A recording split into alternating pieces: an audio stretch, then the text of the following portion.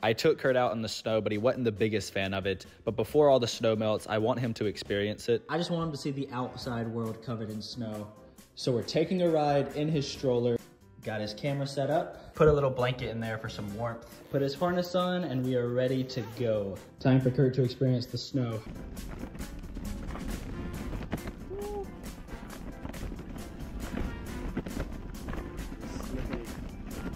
Kurt was taking it all in, looking around.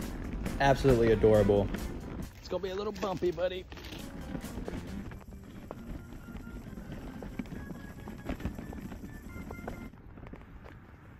There's a car.